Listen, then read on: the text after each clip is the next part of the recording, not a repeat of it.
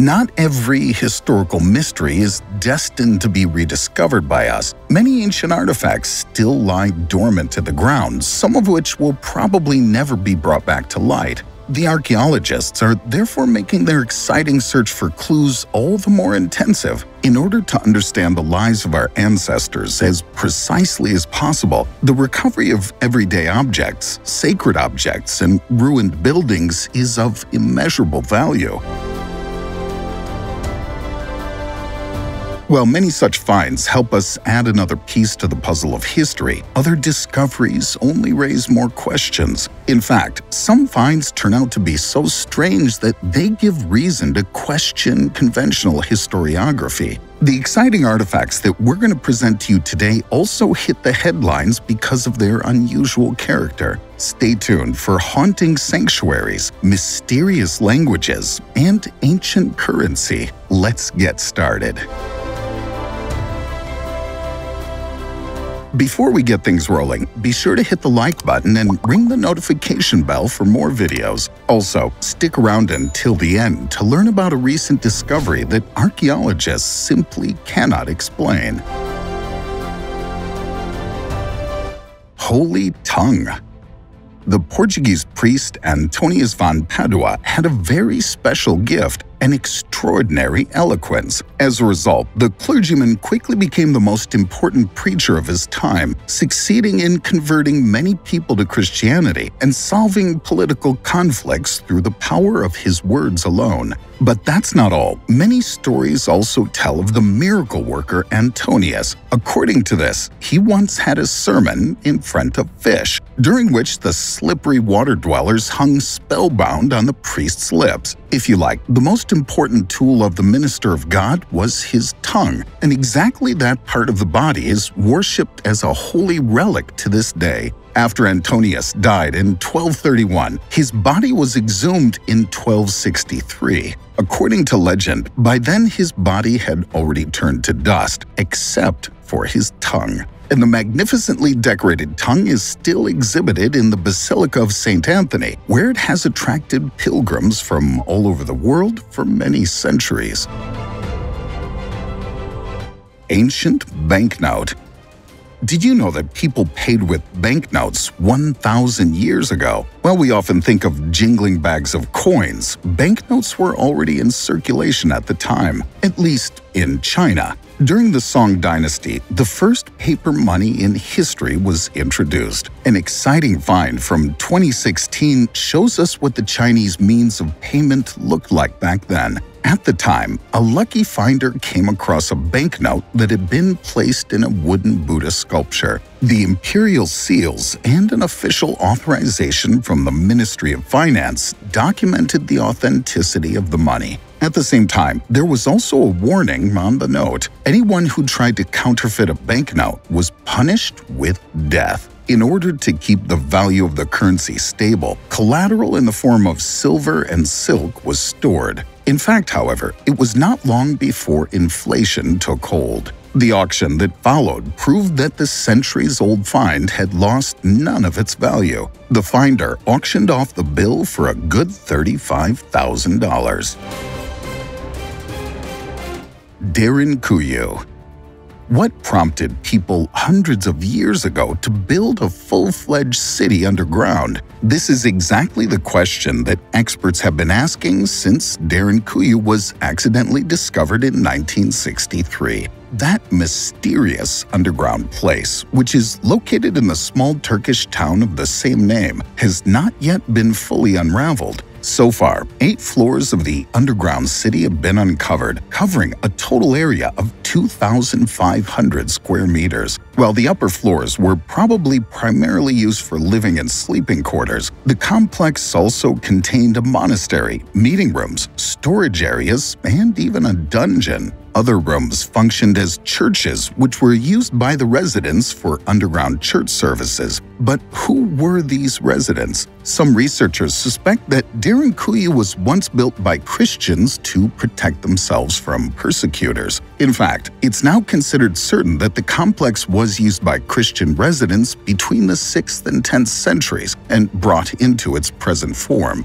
But were they also the creators of Derinkuyu? Quite a few experts believe that the history of the secret city goes back much further, so it's conceivable that it was the Hittites who built the underground settlement more than 4,000 years ago. However, not only the history of its origins, but also the question of the number of inhabitants repeatedly causes heated debates in the ranks of experts. While one side assumes that a maximum of 3,000 people lived there at the same time, others put the number of residents at 50,000. No less exciting than the discovery of Derinkuyu was the realization that this was by no means an isolated case. So far, more than 30 other underground cities have been found in the surrounding region.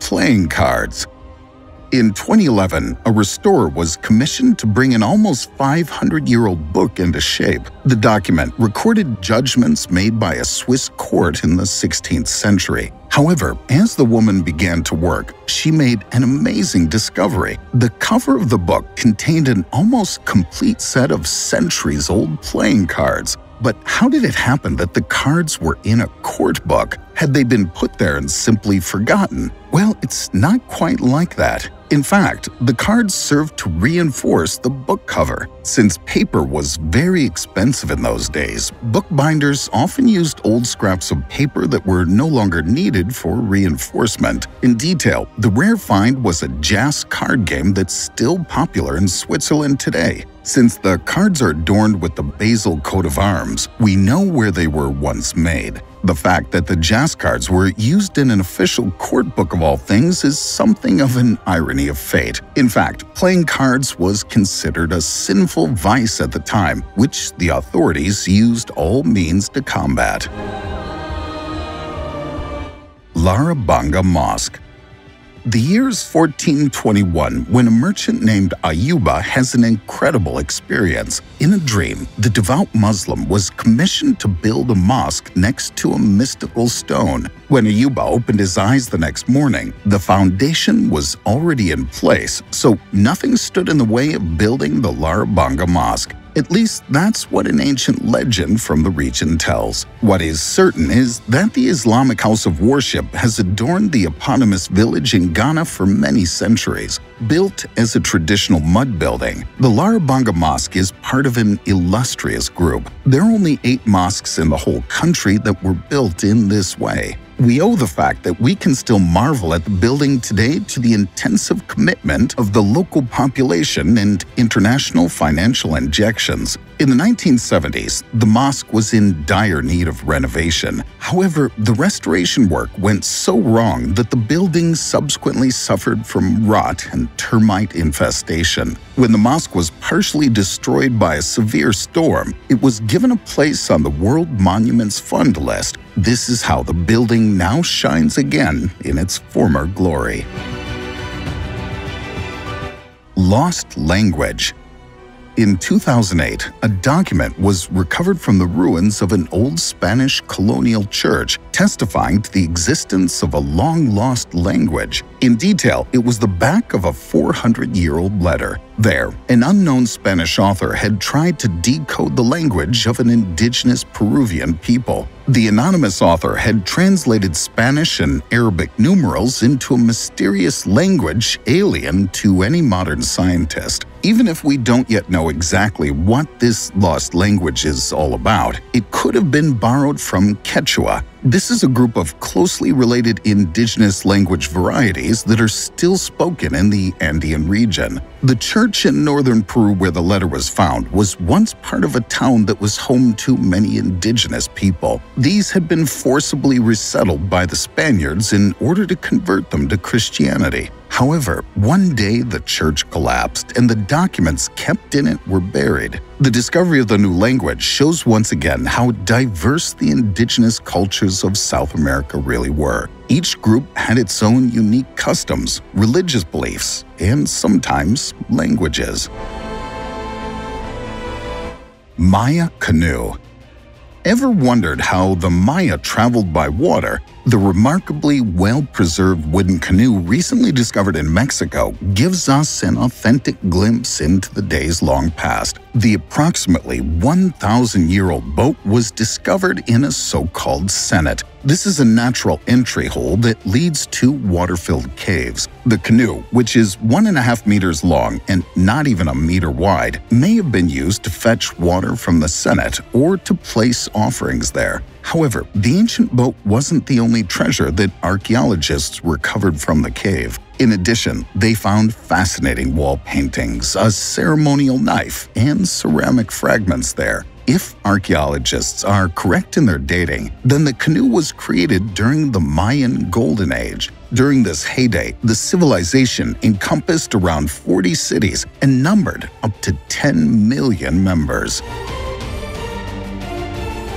Book found in 1600s shipwreck.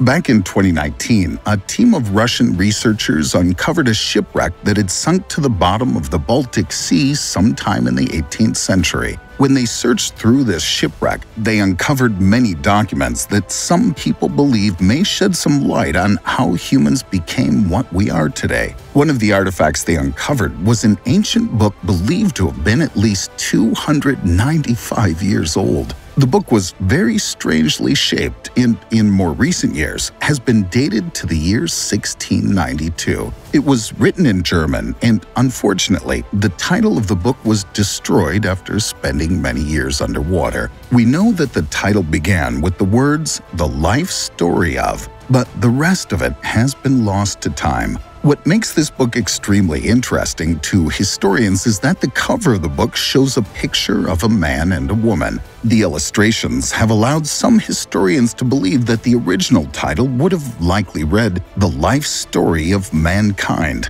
However, this is only a theory. It's believed that the book is an ancient form of the Bible and that it could contain psalms that are not included in the traditional Christian Bible. Researchers believe that these ancient psalms may shed new light on the creation of man However, unfortunately, only 50 of the 500 pages could be investigated, as they fear that further research may result in the book being completely destroyed, as it is incredibly degraded after spending so many years underwater.